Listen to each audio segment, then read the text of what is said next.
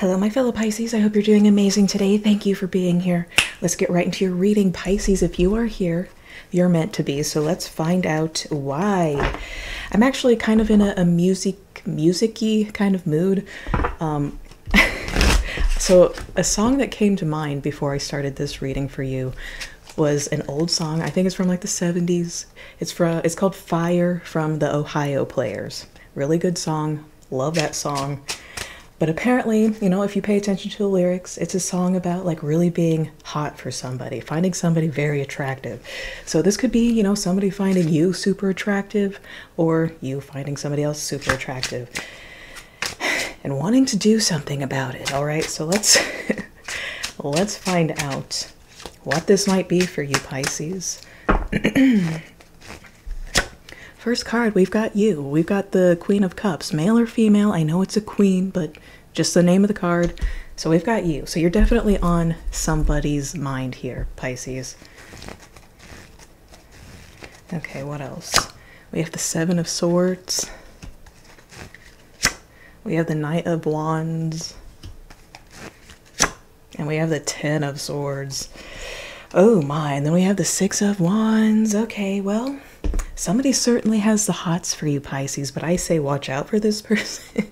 I am going to get more cards. I am going to clarify these, but what's under the 6 of wands? We have the we have the 8 of pentacles there. So this could be somebody that you work with. It doesn't have to be, but we also have the 8 of pentacles on the bottom of this deck.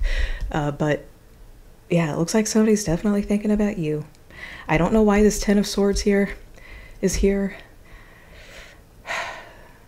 you know, first impression is that this was a bad Ten of Swords, that this was bad. But now that I'm looking at it again and feeling the energy a bit more, it's like, actually, maybe this isn't bad. So maybe that's something to look out for you for, or for something for you to look out for with this person. You think that they're trouble. You think that as soon as they walk into the room, it's like it's like that Taylor Swift song. I knew you were trouble when you walked in. Yeah, I know. I'm an amazing singer. Uh, it's kind of like that. But like once you get to know them, maybe it's like, you know, don't judge a book by its cover. But you know, maybe I'm wrong. Let's take a look. Let's clarify. And I did just split the deck with the Ace of Cups there. So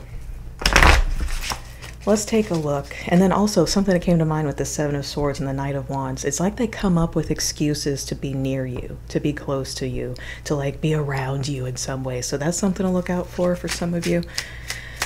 So Queen of Cups, what is this about? I mean, clearly it's likely likely you, but it could I mean, they could be a water sign themselves.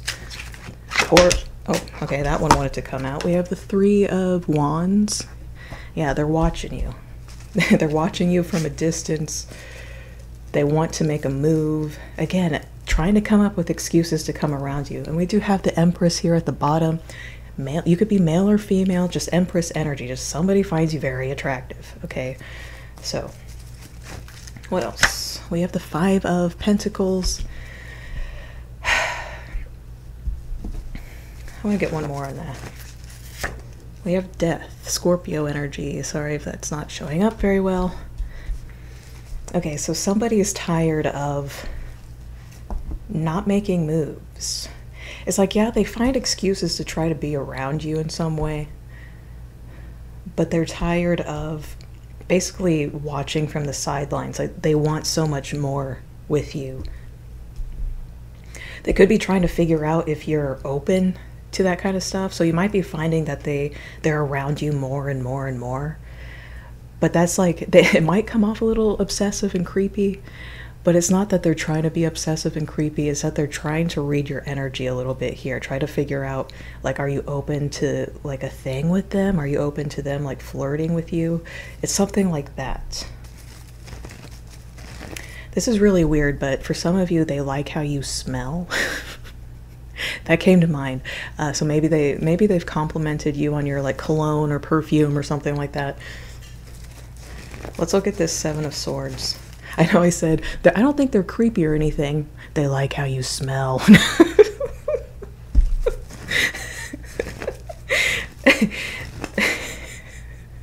Sorry, I need to stop. Okay, so Seven of Swords. Why is this here? We have the Two of Swords. And we have the Four of Swords. Yeah, they they're trying incognito incognito. I can't say that word very well. It's like they they think that they're being sneaky, but they're not really. Especially whenever you notice that they're around you more and more and more.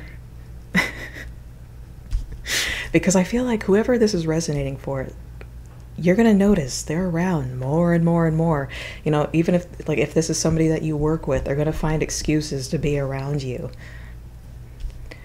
To like help you on something or you know, something like that. But they think that they're being sneaky, but they're not. They're not really.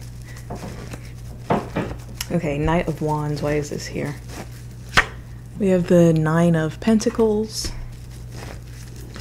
We have the Two of Wands. So yeah, Nine of Pentacles. They think you're very attractive. It's like, it's similar to, to me anyway. The Nine of Pentacles is very similar uh, energy to the Empress. It's like a, a soft core Empress. Um, and they, yeah, they find you very attractive. They feel like you, you are it. Like you are sexy. You have it all. You know, whether you feel that way about yourself or not, which you should, they see you that way and they are contemplating making moves here. I'm getting a very plotting and scheming two of wands here. It's like they they keep making these moves. They keep like seeing they keep throwing things to see what sticks, right? That's kind of what I'm getting with this person. So 10 of swords, what is this about? Oh, my deck's upside down. What is this 10 of swords about? We have the 2 of pentacles, and we have the Four of Pentacles. Okay, I understand what this is now. The Ten of Swords, they start getting in their own head, and it's like they stop making moves because it feels like you're not like into them. You're not reciprocate reciprocating. So whoever this is, they have a major crush on you. They're around you a lot. They try to find excuses to be around you. But at some point in the near future, it looks like they really get in their head and they kind of self sabotage this and they like stop making moves. So you might notice like somebody's around you like a lot and maybe you're kind of into them and you like you try to like make that interest known but maybe it's just not translating right or something like that and they take that to them in their perspective they think that you're not into them so they stop like trying to be around you and then on your perspective, you're like, well, holy shit, I think that's why I got that bad first impression. It's like you think, well, damn, they must not be into me. They're avoiding me now. But it's really because they got in their own head and they feel like you're not into them. Okay. But they're still like silently obsessing over you. They're silently like, you know, have their eyes on you. They're, they, they aren't just going to wake up one day and like find you less sexy, you know? so Let's see. Is there anything else? Let's get this other deck. Is there anything else for Pisces concerning this person? I mean, this is a message for somebody, apparently. So, I mean, for some reason, it has to be known to someone. So, why is that? You know, if they're just watching on the sidelines and it seems like they're just going to, at some point, just go back to withholding and like trying to almost avoiding you. So, like, why? Like, why does Pisces need to be aware of this? We have the Ace of Swords. We have the Nine of Cups. And we have that Two of Wands again. So it's like this has the potential to be like a very nice connection and has the potential to like possibly change your path a little bit. I mean, a whole new relationship can change your path.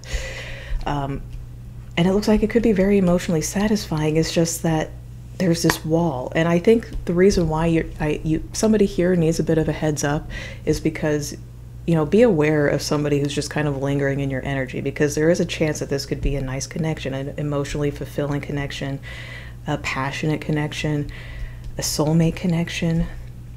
But that again, remember the first impressions thing that I said is just like a weird first impression, but like don't let that stop you. I mean, obviously if you're getting like red flag vibes, don't like step away, you know, that's okay.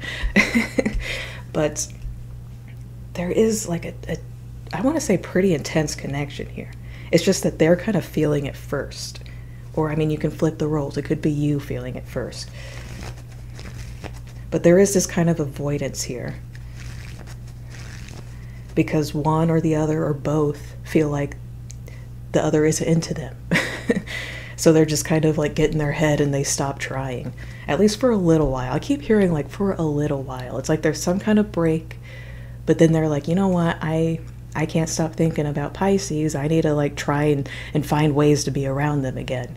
So I do feel like it could come back around. That could be why this Two of Pentacles is here, because you know how it's like this, you know, loop, this infinity kind of symbol. I don't know how well you could see it on that card, but it does look like it's going to come back around after a period of them kind of hiding in their shell, thinking that they fucked everything up, thinking that you're not into them. So, what else? How does Pisces feel about them, first of all? We have the Wheel of Fortune. Okay, so again, that feeling of this could potentially change your path. It could start a new cycle for you. So I think you're into them. I think you're into them like way more than they realize. They're just not reading the room very well. It's like, I don't know what it is. Maybe they're just kind of socially awkward, but it's like they're not reading the room very well. So I think whenever you notice this person just kind of being in your energy more and more, you know, maybe, you know, try and start a conversation with them, try and get something rolling because for some reason they're having a really hard time telling if you're into them or not because I feel like for whoever this is resonating with, I think you are into this person. At least most of you. You know, maybe some of you are like, "Oh no, I hate that creep." No. but for most of you, I feel like you you feel something, like you feel some kind of potential with this person. We have the Chariot, Cancer energy. Again, that that uh, theme of a, a new path. So we have these two different colored sphinxes, I think they are uh, each one resembles a different path you could take. Which path do you want to turn your chariot? So there is a chance that this person, this could be a deep connection. The Wheel of Fortune and the Chariot card aren't going to just show up, you know, for no big deal. This is somebody that you could have possibly a long term relationship with. It's just you have to get over this little obstacle of something not connecting here. There's some kind of disconnect. I, again, this person could just be socially awkward. You could be not like realizing the hints that they're throwing out there. So that's something to look out for. What else? We have the Empress coming up. Okay, again, because we have the Empress there. So yeah, they're coming in. They're coming in for you. I think they're going to make a move. But it's just weird because their moves are like something again there's just something not translating okay? Something there's that kind of weird disconnect. It's like you i think you're both you're both into each other. I feel like they're more into you than you are with them at this point but it's just their way of going about it. Again that kind of sneaking around you know kind of like beating around the bush a little bit right? They're not going up to you and like being straightforward like hey i'm really into you. No they're like finding ways to be around you you know? So yeah, there is going to be a move being made here. But I think somebody here just needs a heads up that they're into you, okay? So watch out for these little subtle signs and maybe like give them hints like, hey, this is okay. we can talk. You know, I think that's advice for somebody here. Because there is a potential that this could take you down a, a new path, a long term kind of thing. So and then we have the world. You know what? I'm just going to end it there because we're ending with four major arcanas. This is big. This could be the start of a new cycle. It's just, again, that disconnect. Somebody here needs to realize that this other person's hints are kind of su- subtle, okay? But you will know that they're around you more and more. And that's not by coincidence. They're doing that on purpose. So for somebody here, this has a lot of potential. I'm not going to lie. This person's really into you. Again, I think they're more into you than you are with them right now, but that's about to change. I do see this taking you down a different path, opening up a new chapter for your life. And I, I think it's going to be a very pleasant connection with this Nine of Cups. I think you're going to be surprised. And again, don't judge a book by its cover. They might give a bad first impression, and it might be because of that weird disconnect that I was telling you about. So yeah, that is your reading today, Pisces. If that resonated or if you just enjoyed the reading, leave some bananas in the comments, like and subscribe, and I will see you in the next one. Bye.